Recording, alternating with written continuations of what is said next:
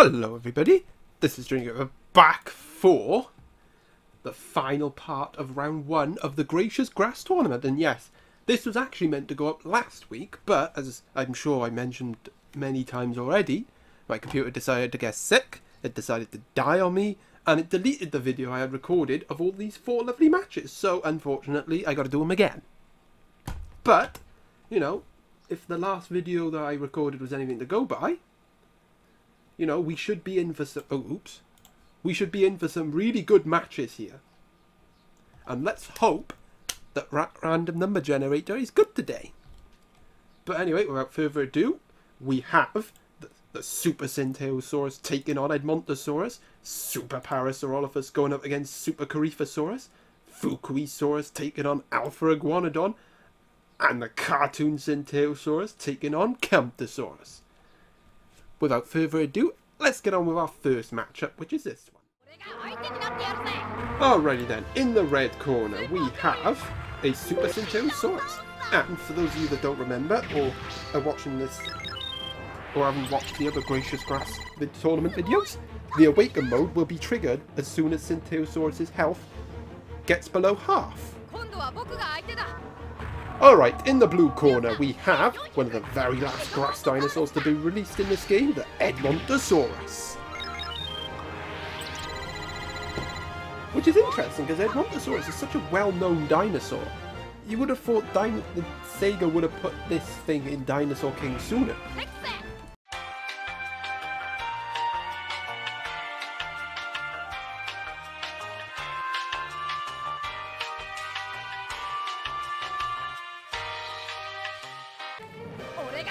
Alright, round two. Can the Tsintaosaurus come from behind to win? Or can the Edmontosaurus take a 2-0 win?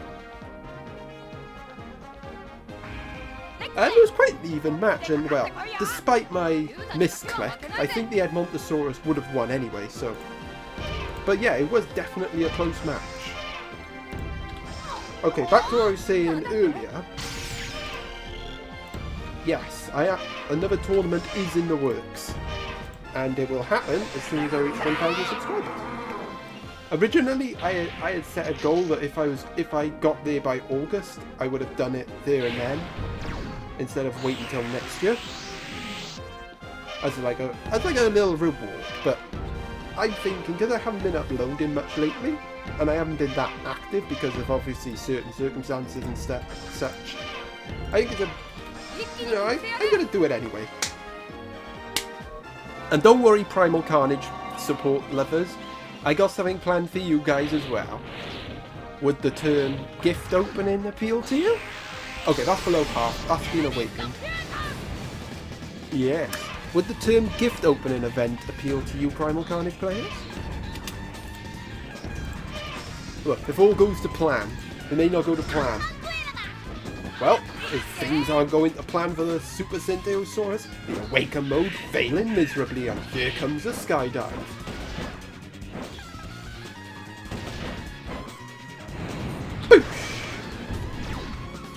Oh. Okay, maybe maybe Edmont maybe Edmontosaurus wouldn't have won that first round. Ah. Hmm. Yeah, I just thought of that. Oh, that's a tie. And the Tsintaosaurus goes down. Um... Um... Hmm. Okay, here's what we're going to do. Because I made that mistake in the last match, in the first matchup, I'm going to declare that matchup a draw. So that means... So, and then it'll be an all or nothing in this next match. So, whoever wins this next match, if the Edmontosaurus wins, then he will go through. If the Tsintaosaurus wins, then we'll have another match. And then the winner of that match will go through. So, let's get on with round three. Alrighty then, round three between these two. The Tsintaosaurus, the Super Tsintaosaurus, needs to win this matchup to stay in the tournament. If the Edmontosaurus gets defeated, however, then we will move on to an to the to another deciding round. You know what's interesting? We had so many like draws in, in my fire tournament, but since then we haven't had any. Ooh, the Tsintaosaurus getting off the first hit. And it's a Dino Swing.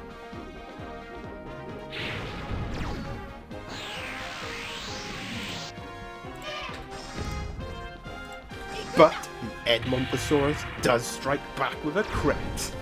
However, it's not enough for the Awaken move to be triggered. Ooh, the Tsintaosaurus getting off another hit. Looking good for our unicorn friend.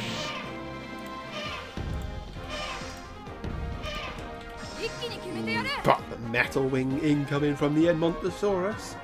Could this be the end for Synte Super Tsintaosaurus? Okay, I got it this time, I got it. I frantically clicked those buttons to make sure I didn't miss the awakening mode. But it's all gonna come down to this. Oh, it's a tie, I think. Oh, it's Montosaurus. Hanging on by a thread. But to no avail, because Super Tsintaosaurus just about Oh, it's revival type! I forgot. Never mind, he's still in it! The Edmontosaurus, the revival type coming in handy. Oh, never mind. Despite the revival, the Super Tsintaosaurus gets off that two platoon crush and finishes off Edmontosaurus to even the score.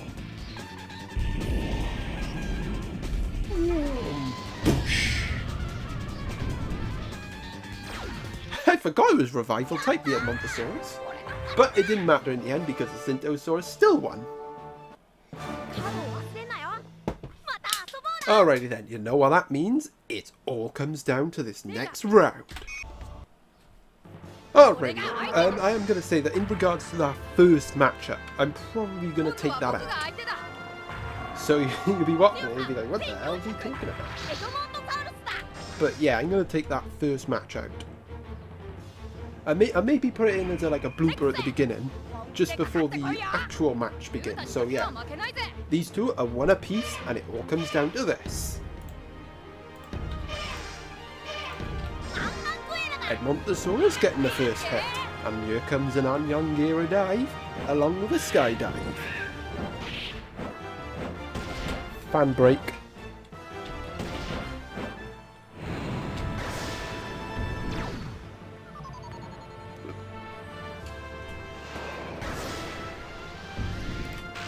Alright, sorry about that. I'd taken a fan break and it was quite a long one, so yeah, he didn't want to see that. Ooh, the Edmontosaurus getting off another head, but you know what that means? It's time for the Awaken mode. And this could be just what the Tsintaosaurus needs to get back in this match. Ooh, is this a one-hit kill?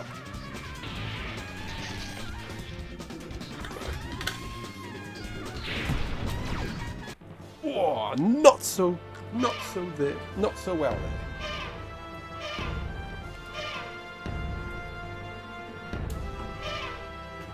But it's all going to come down to this.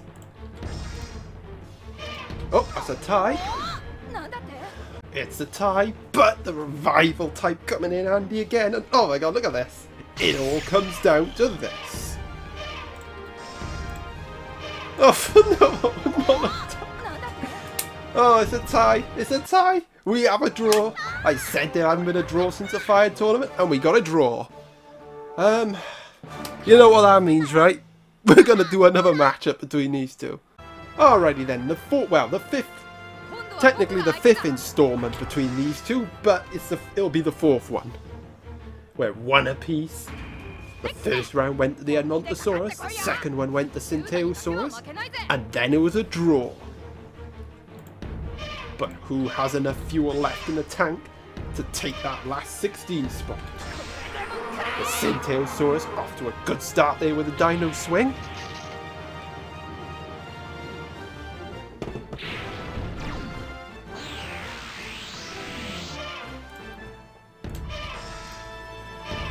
Ooh, but the Edmontosaurus answers back with a crit. Getting back in there though, but the Tsintaosaurus does have the slight lead. Oh, that's a tie. Ooh, the revival type that last time out saved the Edmontosaurus from going out. It might need it again. Ooh, hello, hello, hello. The Tsintaosaurus gets off a triple headbutt. We haven't seen one of these at all. Has the Tsintaosaurus turned the screw on this match? It can't use the Awaken mode yet because its HP is not below half, but it might not need it.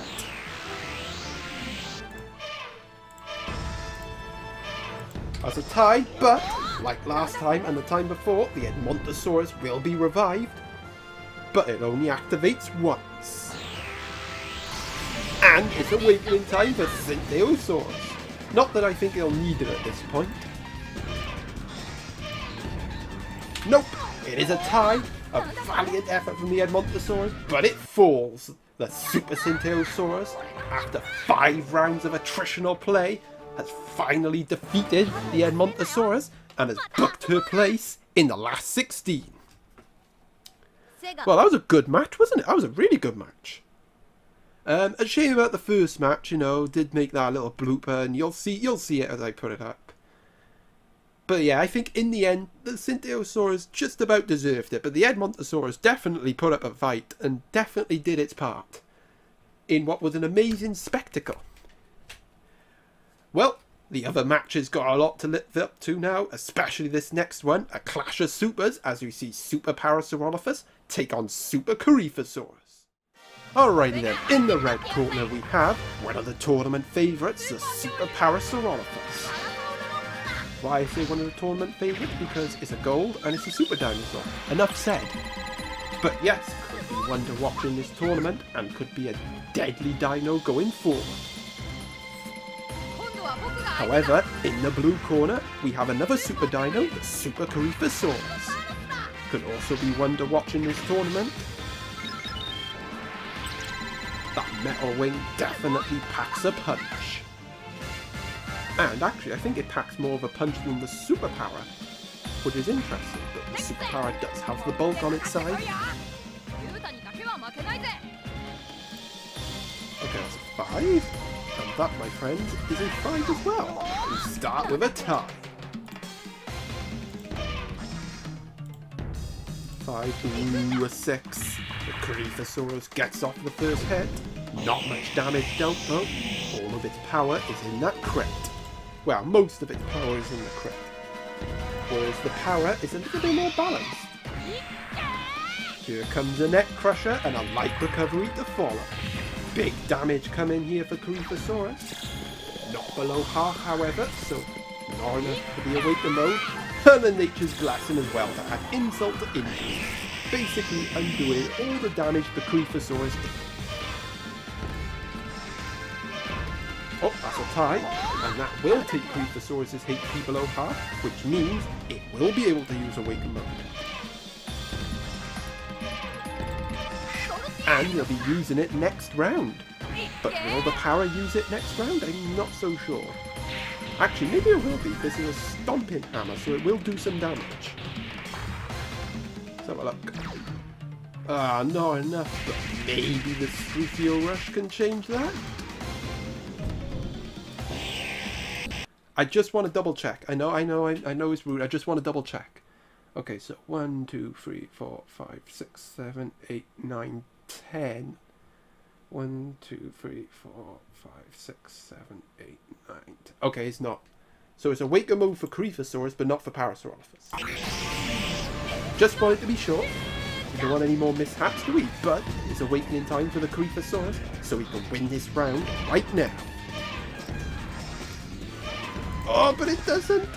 It's a neck crusher and a light recovery to come. A big hit from the Super Para there. In the Super Corythosaurus getting off a big hit. Although, it does mean that Super Para will probably not need Awaken Mode to win now, so I'm pretty confident it's going to win on its own. Ooh, or is it? A big crit from the Corythosaurus. Could have done with that last time when I was in Awaken Mode, but, you know, better one crit than no crits. Oh, look at that! Even in the score, but Parasaurolophus does have the Awaken Mode, which could swing this round her way. Ooh, ah, oh, this game! Well, well, well. Call me a river. I counted the Corythosaurus out, but it's turned up, turned up here, come from behind, and defeated the Super Parasaurolophus to win the first round. Well played to the helmet head. But plenty of time for the power to come back as we move on to round two. Alrighty then, round two between these grass munchers. Can the Super Corythosaurus pull off a surprise win? Or can the Para Super Parasaurolophus restore some normality? The winner of this match will face Super Tsintaosaurus in the last 16. I forgot to mention that. Well, now I mentioned it. Ooh, good start from the Corythosaurus. A stomping hammer right off the bat. Ghost. good start from the Corythosaurus there. Ooh. Well, the Super Parasaurolophus will be allowed to use Awaken mode next round, but it will be on significantly low health, which means even if the even if the Parasaurolophus is damaged in Awaken mode, it probably will still die. Oh yeah, definitely. Well, the Corythosaurus has stormed out the block, but could this Awaken mode from the Parasaurolophus change everything? Oh, it's a tie! The superpower roll mine now chips away at Corythosaurus's health. Five, Oh, the big one! That could be a big, big hit from the Parasaurolophus. And it might actually kill it. The Corythosaurus, in a blink of an eye, out of nowhere, has been defeated. And the Super Parasaurolophus making good use of the Awaken mode to even the score. So you know what that means? It all comes down to this. Alright then, it all comes down to this for these two now. Which one has enough fuel left in the tank? I'd probably say Corythosaurus has been the more impressive one. But the Super Para has made better use of her hits. As you saw in that last matchup there, two hits was all it took to kill the Corythosaurus. Actually, it wasn't really two hits, it was one. Oh, that's a tie. See, the problem with, the problem I, I, I have with um, testing how strong the crits are for dinos in Awaken mode is, is the fact that pretty much all the crits for all the dinosaurs, all the super dinosaurs are over 1,000, so there's not really much point into testing it. Nope, yeah, got it off, got it off. We saw how useful the Awaken mode was for the Paras Parasaurolophus last time. Can it help her this time? There's a tie. She won't mind that. Oh, it's happened again! It's a neck crusher! It's a neck crusher from the Parasaurolophus. I'd probably say a smash and grab there from the Super Parasaurolophus, defeating Super Corythosaurus with her Awaken mode. Wow. Poor Helmet Head got absolutely crushed in the end, but a des I don't know an unlikely victory for the Super Parasaurus. Given how the match was going, I, I felt that Super Corythosaurus was getting the hits, but Parasaurolophus made better use of hers, and that is why she is through to the last 16 to take on the Super Tsintaosaurus. Alrighty then, on to our third matchup, which sees the Fukuisaurus taking on the Alpha Iguanodon.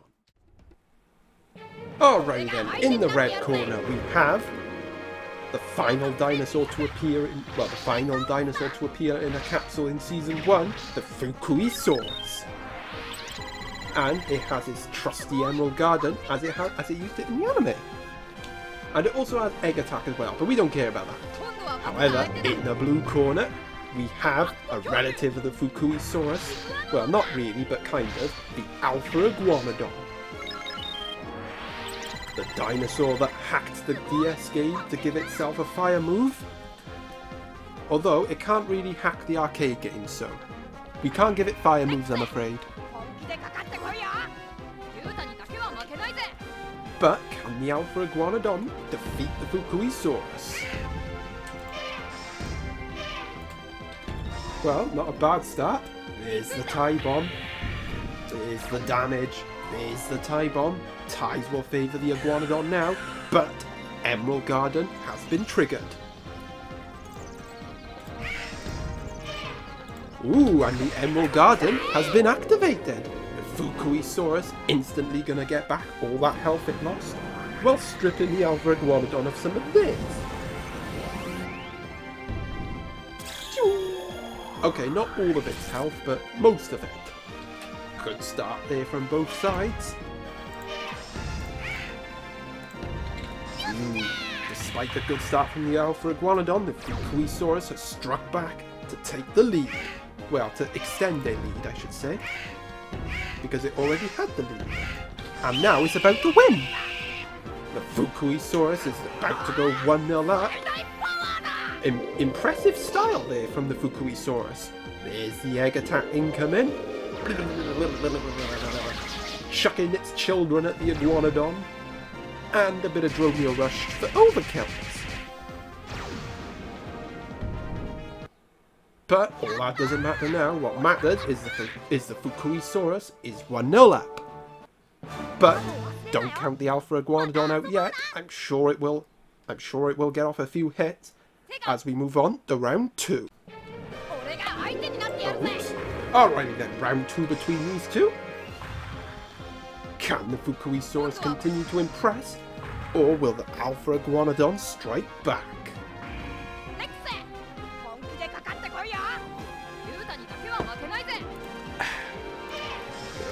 scissors. Oop, we start with a tie. Hmm, I quite favour the Fukuisaurus more. Seems to seem to take less damage. However, is a big for assault incoming and a tie bomb, and this will give a, the Alpha Iguanodon a quite a big lead.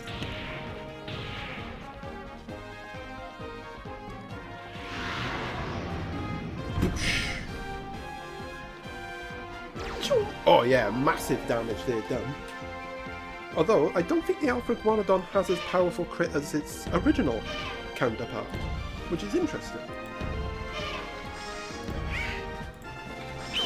But the Fukuisaurus does get a hit back. However, Emerald Garden wasn't triggered, which it could have done with some Emerald Garden hits. However, I think Fukuisaurus will be happy to just get off a hit.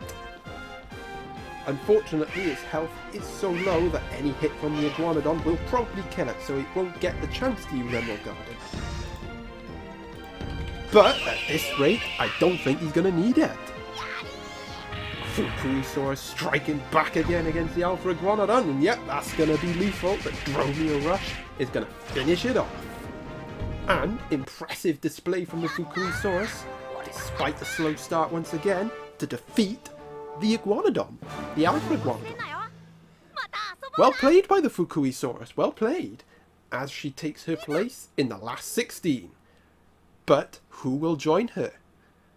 Who will join her in that final spot we're going to find out as the cartoon Tsintaosaurus takes on the Campto. Alright then, bouncing into the arena, in the red corner we have the cartoon Tsintaosaurus. The probably mean guy of the tournament, a lot of people's fans dislikes, and, every, and everyone seems to hope that this guy gets beat. Okay, I'm just gonna say, if this guy wins this, wins the tournament, I will retire from doing Dinosaur King videos. Okay? Alright, in the blue corner, we have the Camptosaurus. Everyone hoping that Camptosaurus does him a favour and wins, and I'm sure the Camptosaurus is the most popular dinosaur right now. But can it defeat this toy? Or can the toy defeat it? Ooh, that's a good start from the Camptosaurus. Cheers from the crowd early on. A diving press incoming. Said that weird. Ooh, another hit from the Camptosaurus. A strong start so far. And a thorn whip to come. Cartoon Tsintaosaurus made to look like a cartoon.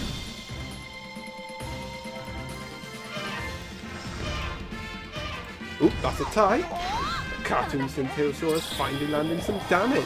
And there's that healage tie recovery type effect. Um, yeah, not that it's mattered. The Camptosaurus has taken out the Cartoon Tsintaosaurus with relative ease to win round one. But as we know, it's the best out of three, so the Cartoon Tsintaosaurus still has a chance. As we move on to round two. Boing, boing, boing.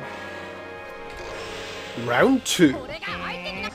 Can the Cartoon Tsintaosaurus actually get a hit off this time? Or will the Camptosaurus continue to camp those whip hits? Get it? Because he's, he's like camping those hits. Oh, that's a tie. Not there. I do believe the Camptosaurus is also revival type, so if it dies in a tie, it gets to come back once. But it hasn't, hasn't even been hit yet. The cartoon Tsintaosaurus just cannot get off a hit. And oh my god, look at that. This is utter dominance from the Camptosaurus. That's a tie. Could have done with a tie recovery effect there. Oh my god, the cartoon Tsintaosaurus got a hit. It's not dead and buried yet as it gets off a diving press. Actually, both of our both of our combatants have diving press. And a much needed light recovery.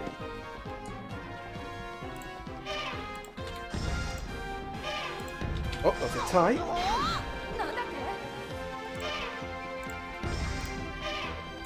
Another tie.